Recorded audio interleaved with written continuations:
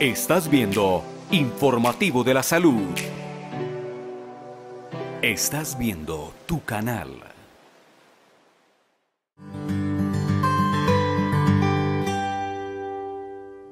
Qué rico dar una cordial bienvenida a todos nuestros seguidores hoy en tu canal en el Informativo de la Salud.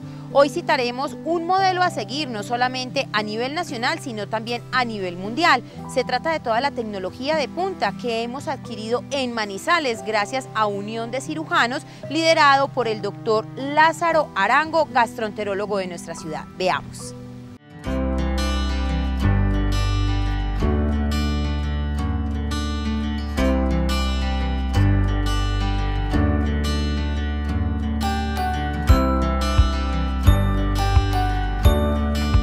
Pues en Colombia la gastroenterología y la endoscopia están muy avanzadas.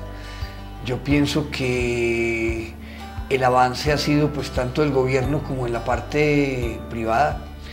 Eh, los hospitales gubernamentales y los hospitales privados las entidades privadas han avanzado mucho en este campo, consiguiendo para Colombia unas tecnologías eh, de mucho peso y que realmente superamos a países como Ecuador, Perú, nos ponemos a la altura de países como Brasil, que incluso yo creo que es el más avanzado en Latinoamérica en este tipo de tecnologías, y pues existen muchas personas y entidades que hacen procedimientos de avanzada en gastroenterología, no teniendo que envidiar a países como Estados Unidos y a ninguno de la Unión Europea ni del Asia.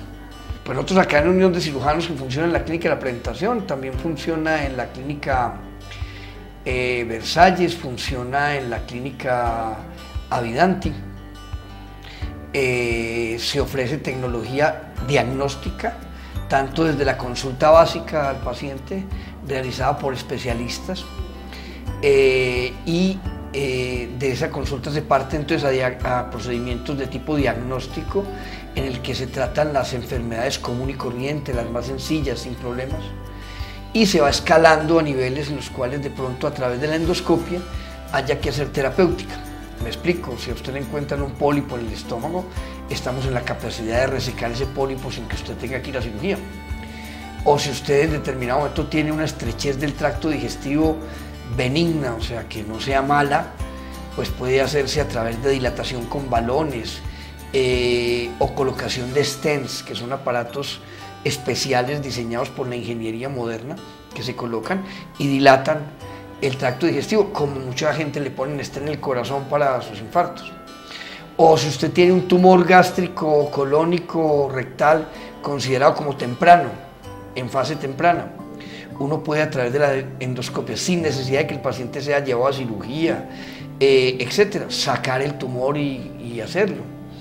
Eh, en casos de enfermedades malignas, uno puede a través de la endosonografía, que es una nueva tecnología y nosotros somos en el país uno de los sitios de punta, eh, de pronto de los mayores líderes que existen en este campo en el país somos nosotros, pues puede detectar la profundidad del tumor, puede tomar biopsias de los tumores de páncreas, de vía biliar, de vesícula, eh, que no eran asequibles antes a otras metodologías, a la radiología muchas veces, pero con ciertas limitaciones o muchos tenían que ser llevados a laparotomías o laparoscopias para tomar las muestras. Ahorita a través de esto se pueden tomar muestras.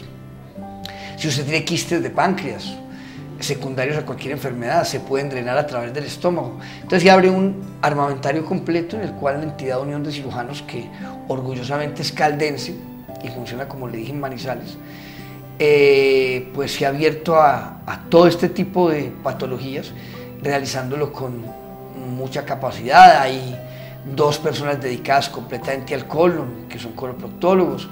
Hay otros tres que estamos dedicados a la endoscopia netamente terapéutica. Hay otros dedicados a la endoscopia diagnóstica y entre todos hacemos realmente de todo también, dando pues toda una apertura para que sea yo creo que la entidad que mayor cantidad y disponibilidad de procedimientos tiene para ofrecer a la comunidad y con altas garantías.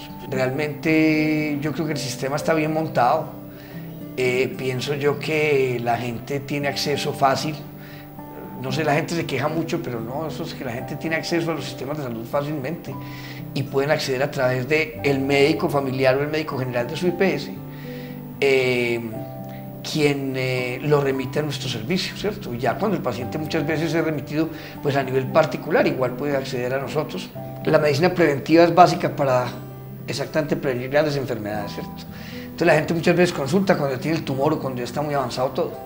Y eso pues no debe ser así. La gente debe eh, ser mismo consciente que cuando existen signos de alarma, baja de peso, un dolor que no mejora con nada, dolor que lo despierta uno en la noche, ciertas comidas que le caen a uno mal y antes no le caían mal, eh, sangrado tanto por vómito o por la materia fecal, eh, sensación de cambio de la, de la, forma de la materia fecal, diarreas frecuentes que en determinado momento no existían, eh, sensación de tener una masa, una bola, como lo llama la gente, antecedentes familiares en primer grado, con sanguinidad, padres o hermanos, abuelos con enfermedades de tipo tumoral, pues deben consultar al médico.